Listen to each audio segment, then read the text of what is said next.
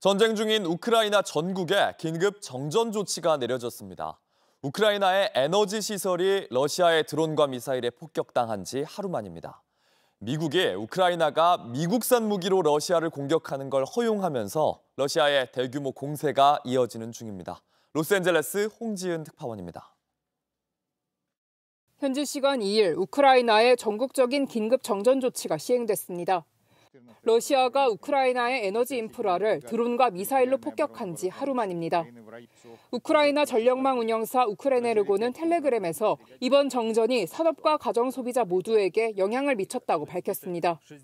우크라이나 언론은 전날 밤부터 새벽까지 자포리자, 도네츠크 등 다섯 개 지역의 에너지 시설이 폭격을 당했다고 보도했습니다. 러시아군이 발사한 드론과 미사일은 100개로 파악됐습니다. 우크라이나가 미국산 무기로 러시아 본토를 타격하는 것을 허용한다고 미국 정부가 밝힌 데 따른 보복 조치로 풀이됩니다.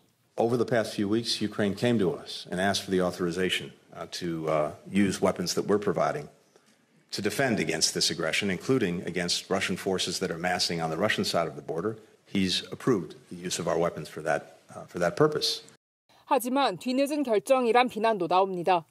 이미 올해 초부터 우크라이나 하루키우가 위협받는 상황이라는 경고가 잇따랐는데도 러시아와 서방의 전면전으로 확전할 수 있다며 외면했다는 겁니다.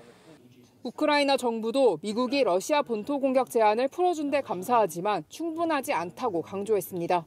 Чи цього достатньо? Ні, тому що я вам навів приклад аеродромів, звідки Росія б'є постійно, абсолютно спокійно, спокійно знаючи, що Україна не б'є у відповідь.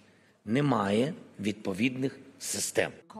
뉴욕타임스는 블링컨 장관의 러시아 공격에 대한 발언 가운데 필요에 따른 조정에 주목해 러시아 본토 공격 범위가 확대될 수 있음을 암시했다고 해석했습니다. 로스앤젤레스에서 JTBC 홍지은입니다. 아침엔 앵커 정재우입니다. 지금 이 기사 가장 먼저 매일 아침 7시 반에 보실 수 있습니다. JTBC 뉴스 채널을 구독해 아침엔과 하루를 시작하세요.